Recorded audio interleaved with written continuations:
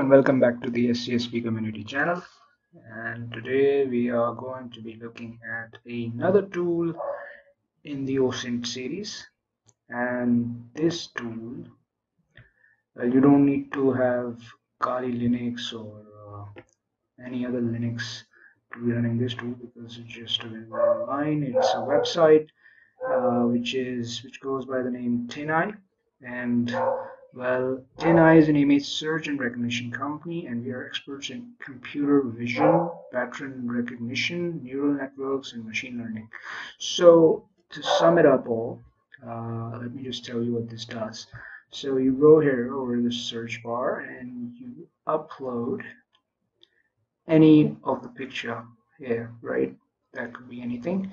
And what this does is it's a reverse image search, and it just goes ahead and looks for all the different resources that it that it has for the image that you uploaded right? So let me show you an example.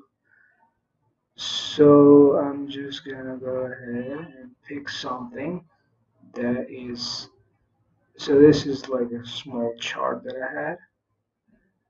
So we're just gonna upload it and see if it's it could find anything right so your image may be unique and doesn't appear anywhere. So zero results searched over 39.6 billion images. And it couldn't find this one because well it makes sense right? Because it was uh, I developed I kind of made it myself so yeah. Couldn't find it anywhere. And if you expect to find matched you know I mean I have crawled the website page. It makes sense right? So and that's a lot of places to actually search. And I'm surprised that it did it so quickly. So let me go ahead and the fact that it, is running um, machine learning and all that neural networks in the background it just makes it more intriguing to me that how fast that was. So let me go ahead and try it out with a different image actually that I had downloaded from Google search and it's a Batman image. And let's see if it is able to find yeah 16 results and it was able to do it in 2.9 seconds. Searched over 39.6 billion images and well yeah. So because this was publicly available and it is available at different sources.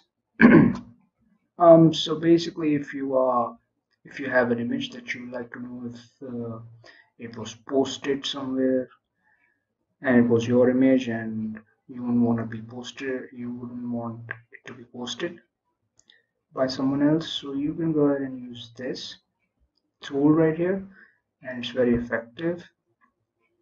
Um, another thing about this is uh, you can actually buy their like they have these commercial products as well and I think these all are different. These are the ones that are paid. And corporate and enterprise automated image tracking including daily deposition where your image appears across the web. So yeah that's that has to be paid for. And well yeah this was uh this was also a very interesting tool it comes to open source uh, intelligence so yeah that was the video. I hope you liked it. If you did please leave a like down below. And if you have any comments or any suggestions uh, you can comment on comment them down below as well. And do subscribe. Thank you. That be that be all for this video